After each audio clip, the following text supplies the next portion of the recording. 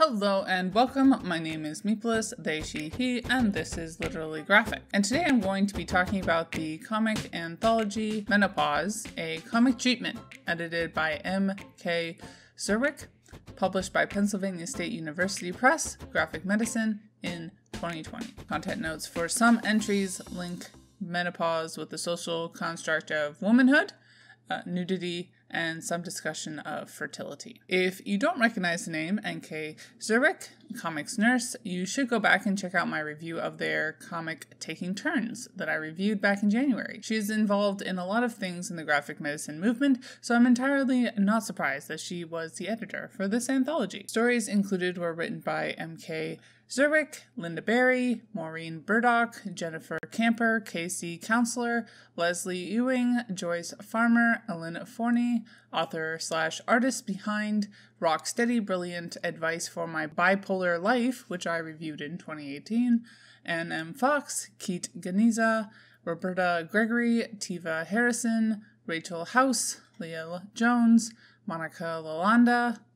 Kathy Leamy, Ashwan Mons, Jessica Morin, Mimi Pond, Sharon Rosenzweig, Joyce Shasher, Shaster, Susan M. Squier, Emily Steinberg, Dr. Nicola Streeton, A.K. Summers, Kimiko Tobimatsu, Carol Tyler, Shelley Wall, and Dana Walrath. What kinds of keywords came to mind when I read this anthology? Uterus, playful, aging, personal, doctors, adaption, and defiance.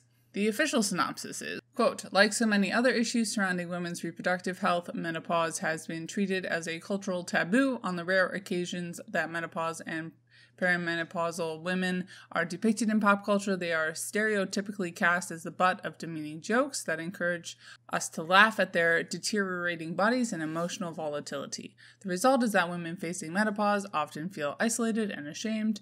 In a spirit of community and support, this collection of comics presents a different view of menopause that enables those experiencing it to be seen and to feel empowered. Balancing levity with sincerity, these comics unapologetically depict menopause and all its attendant symptoms with hot flashes and vaginal dryness to forgetfulness, social stigma, anxiety, and shame.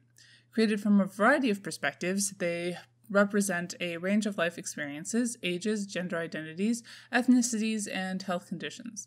The common thread uniting these stories is the affirmation that while we can and should laugh at ourselves, no one should be ashamed of menopause. The comics in this book encourage us to share our experiences and to support one another and ourselves through self care and community. Featuring work by a host of pioneering and up and coming comics artists, Menopause is a perfect foil to the simplistic, cheap joke approach society at large has taken to this much derided women's health issue. Readers will revel in the sly humor and universal truths found here. End quote. As an anthology, it is hard to comment on the writing and art as it does change a lot throughout. I can appreciate the diversity of perspectives that are coming to bear on the issue of menopause, and it was edifying to see this topic addressed in a very classically indie comic way. Looking at some other reviews, some people seem to have been a bit thrown off by how little menopause facts are highlighted, definitely more personal narratives, many other issues of aging and or illness are interwoven,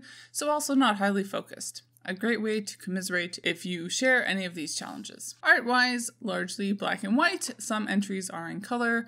I liked how expressive the art was, it really helped with differentiating the stories as they aren't very strongly divided otherwise. Digging into the representation th- side of things, the biggest question I had going into this anthology is how it would treat gender.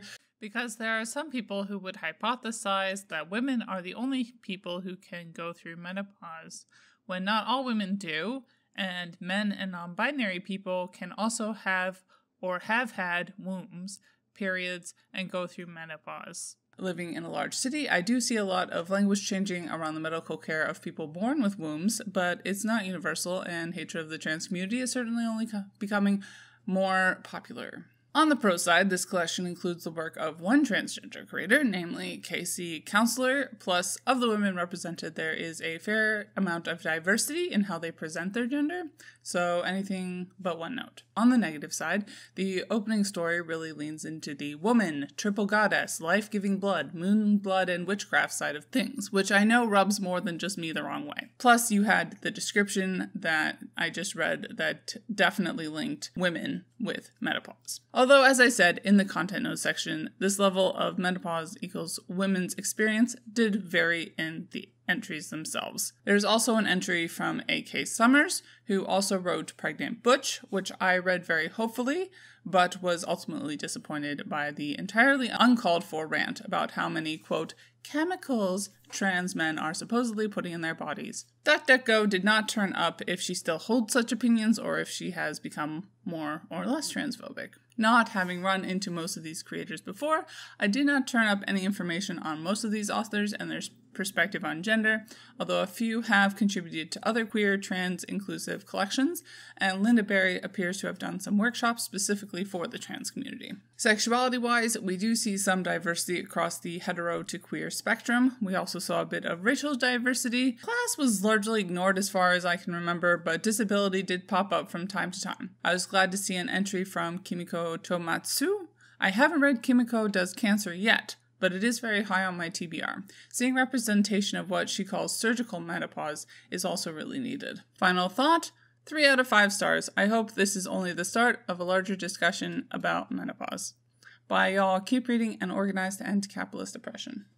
And as always, Literally Graphic is created on land that should be given back to the traditional landholders, which in this case is, to my knowledge, the Mississaugas of the Credit First Nation, non-Anishinaabe people, the Haudenosaunee Confederacy, and the Huron-Wendat Nation.